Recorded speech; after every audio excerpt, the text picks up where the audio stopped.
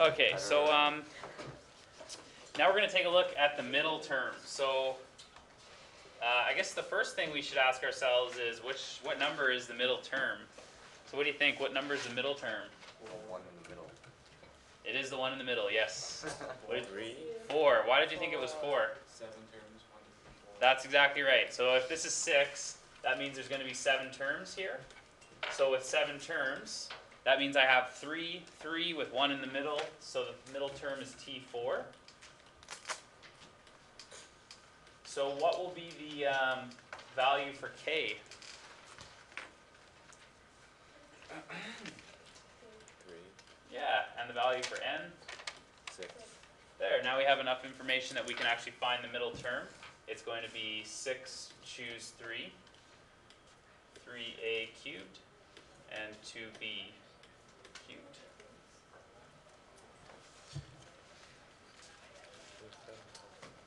So six, choose three,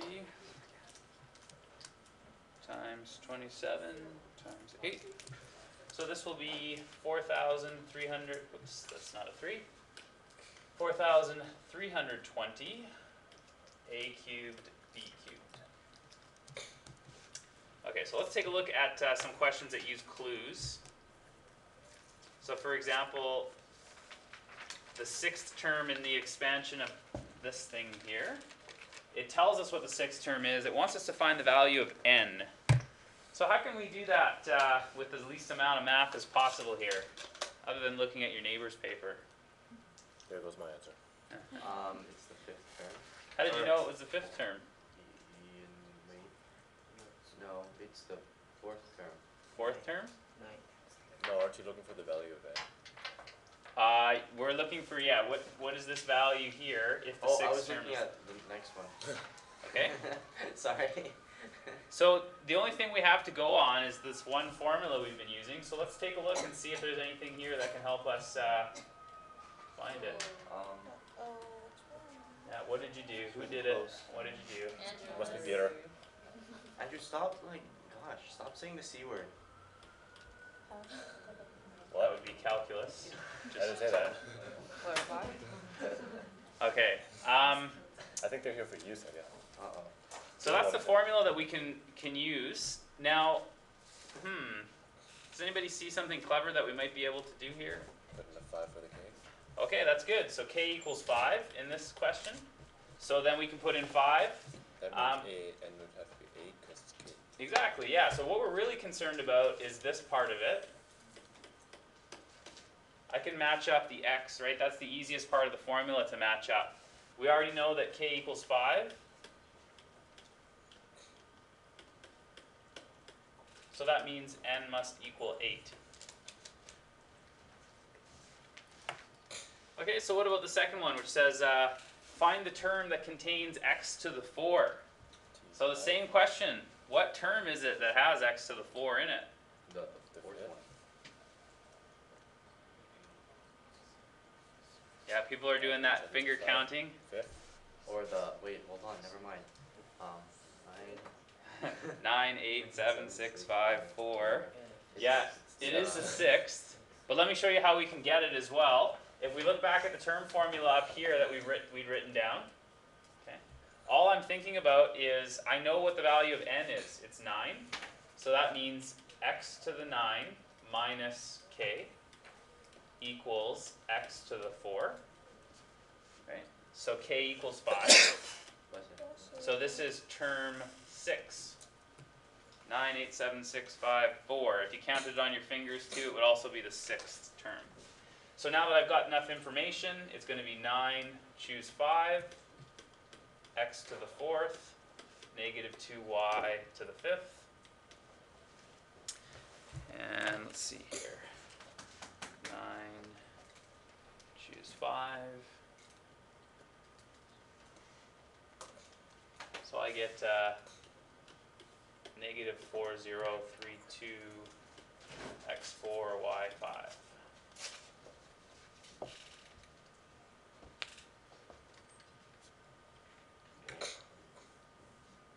Okay. Sometimes instead of finding the whole thing, all we want is the coefficient. So let's talk about how we could come up with this. Given one minus three x to the seventh, find the coefficient of the term which contains x to the four. So again, which term uh, are we looking for? The one containing X to the fourth. The one containing x to the four, so which term number is that? That would be, um, Seven, six, five, four. The fourth? Well, if you look at where these are placed in the formula, Uh, it's actually the second part that I'd be interested in. I'd be interested in the value for b. So in the term formula, in this instance, it's gonna be, uh, n choose k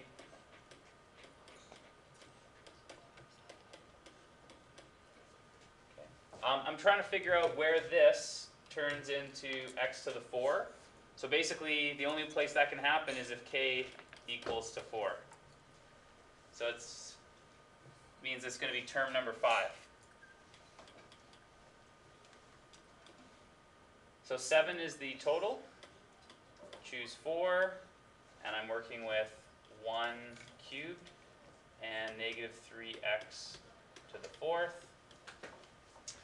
So let's see what we get here.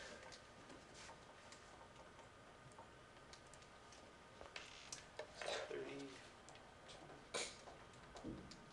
so I get uh, two eight three five times x to the fourth.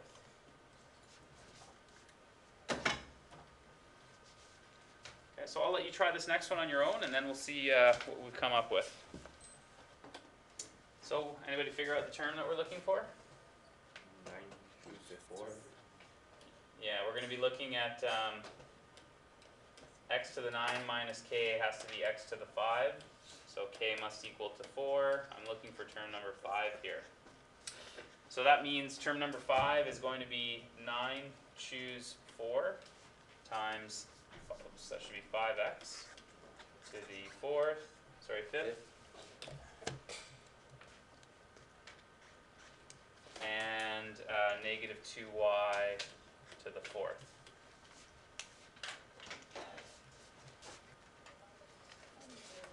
So I get six, um, three, zero, oh, zero, zero, it's negative six. zero, um, x to the fifth, y to the fourth. Okay.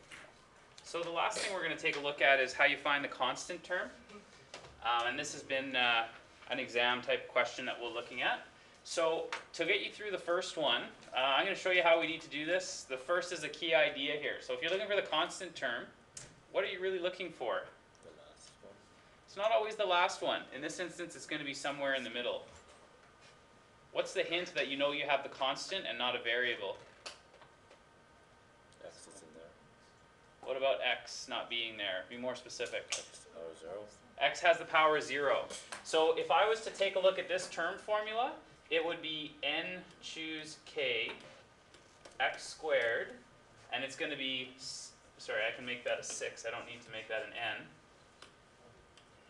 So it'll be six minus k and one over x to the k.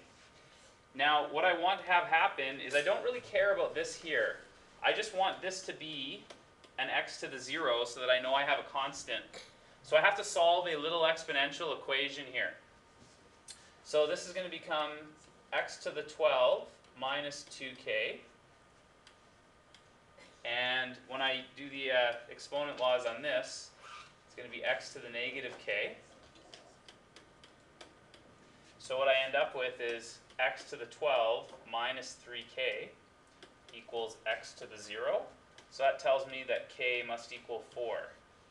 And I'm looking for term number 5 in this example. Okay, so for term number 5, it's going to be equal to, um, let's see here, 6 choose 4, and it's going to be x squared to the uh, 2, and 1 over x to the 4.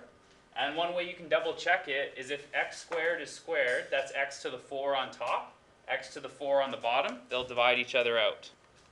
Okay, so I get a constant term of 15.